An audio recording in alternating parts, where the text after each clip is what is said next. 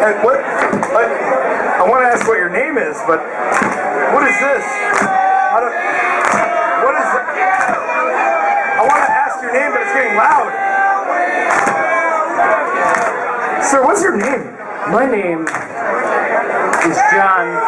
I love Brandon Biggins. Buckler.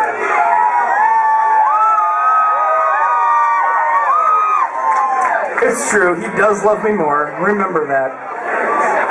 Where are you from? She's right there, I just told her. Where are you from? I am from the great state, home of the best beer in the world, the state of Michigan.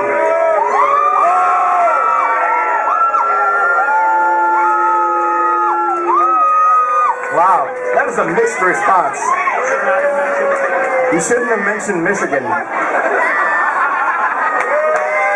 At least they don't know what city you're from. Detroit.